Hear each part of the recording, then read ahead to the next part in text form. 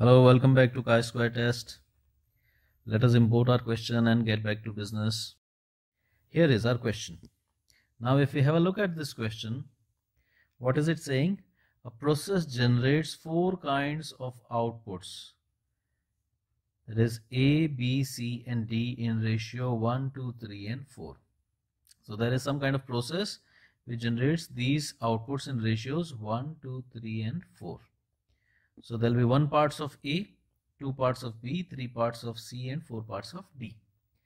The newly appointed manager calls in for a sample of 450 grams.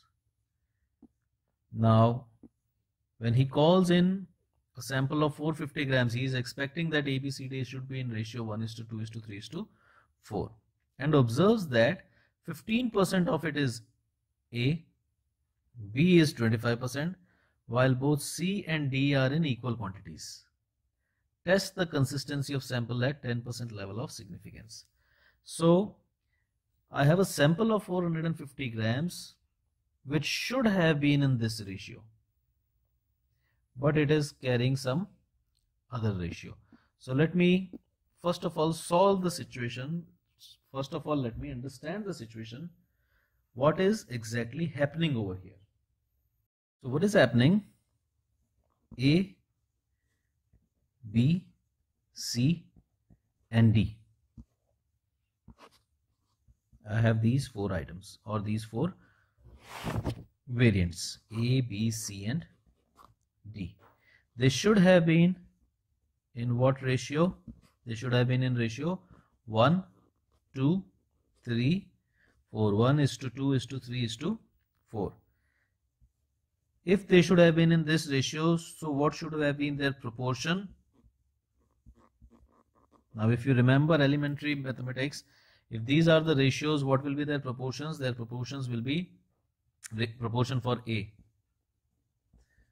Proportion of A would be 1 upon 1 plus 2 plus 3 plus 4. That is 4 plus 3, 7 and 3, 10. So it would be 1 by 10. What will be the proportion of B? It will be 2 by 10 what will be proportion of C? It will be 3 by 10 and D would be 4 by 10 they will always be in this proportion.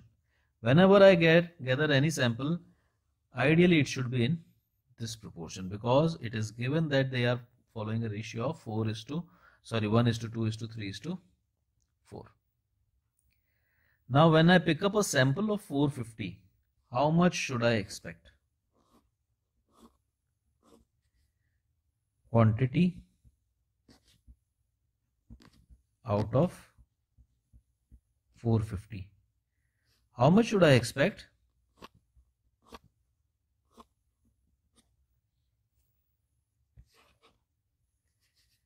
Quantity out of 450. Expected quantity. Let me put it that way. Expected quantity out of 450. How much should I expect? I should expect 1 out of 10 proportions to be A. So what will be the quantity I expect for A? Quantity expected for A. How much will it be? Remember this proportion 1 by 10 of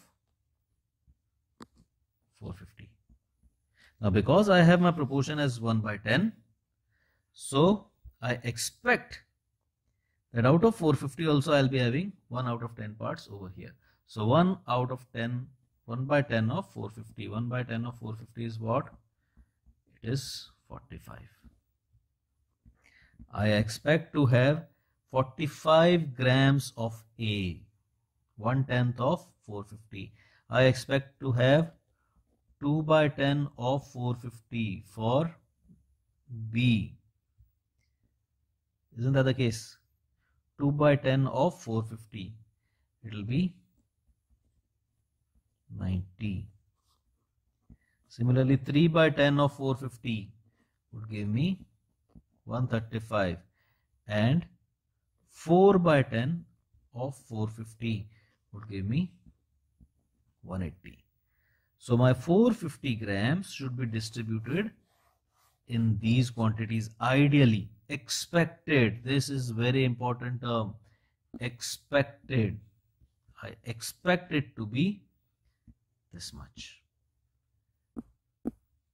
I expect them to be this much. Okay.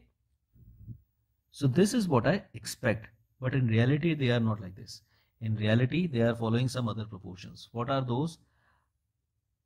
Sample of 450 grams of output and observes that 15% of it is A.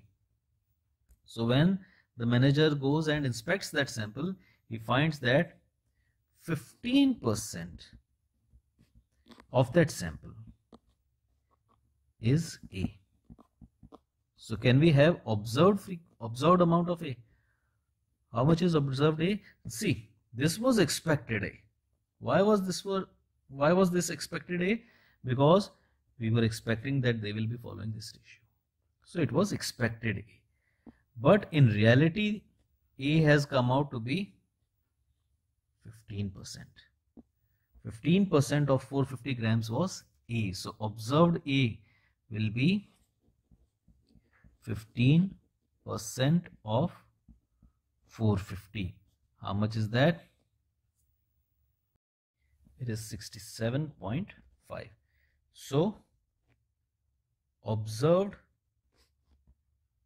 quantity of A is 67.5 okay. Can we have observed quantity of B?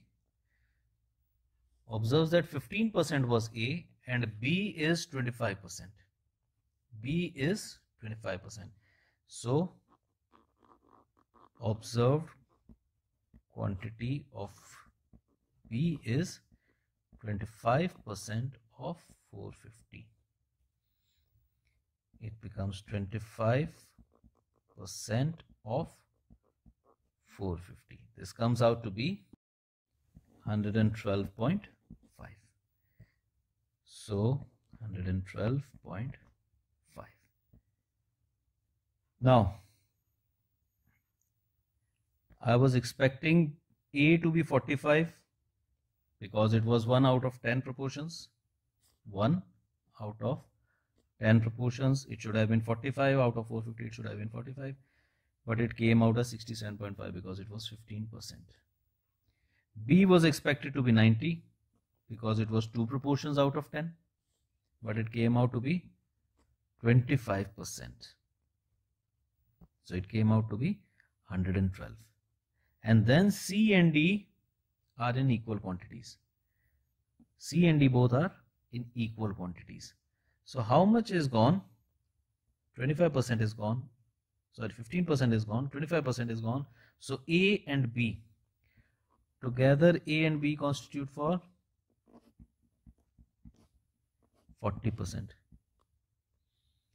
So how much will together C and D constitute for 60% because 40% is gone 40% is divided between A and B remaining 60% will be divided between C and D. And how is it divided? While both C and D are in equal quantities which means of this 60 30% is C and 30% is D. So let me find out quantities of C and D. 30% of 450 making it 30 percent of 450 giving me 135 so C is also 135 quantity of C. And in fact D is also 135 because they both are 30 percent. So how much is it? 135 each. 135 a piece okay? Let me quickly check. How much is this 45 and 90 is 135 135 and 135 is 270 270 and 80 is 350 and 450 this is 450 450 should have been divided. Yes it was divided in this fashion. But in reality it got divided into some other percentages some other ratios. So let me check how much is this. This will make an 80 190 19 sorry 180 180 and 270 making it 450 fine. So we have 450 450 has been divided in this fashion. So now if you look carefully just by dividing this we have our expected and observed figures. Can we go ahead and find chi-square for this? Will that be very easy? Yes it should be very easy because now I know what is my observed quantity and what is my expected quantity. Should we recap once again? How did we how did we find?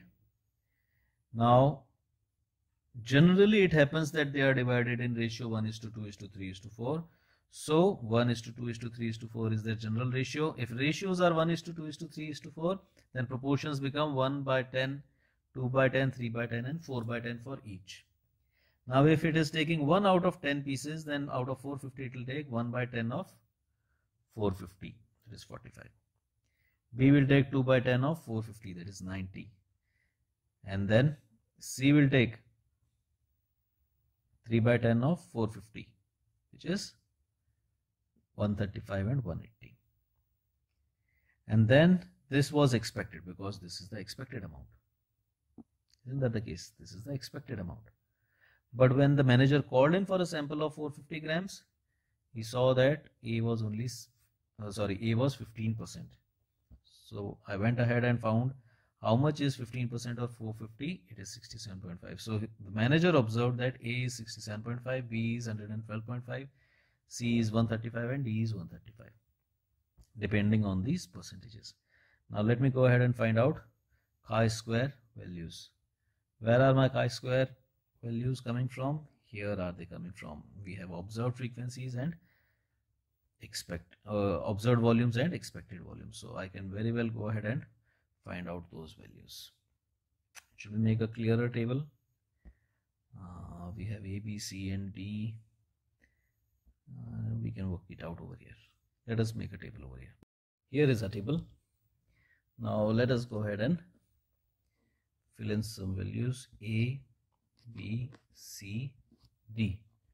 Observed expected observed minus expected observed minus expected square observed minus expected square upon E.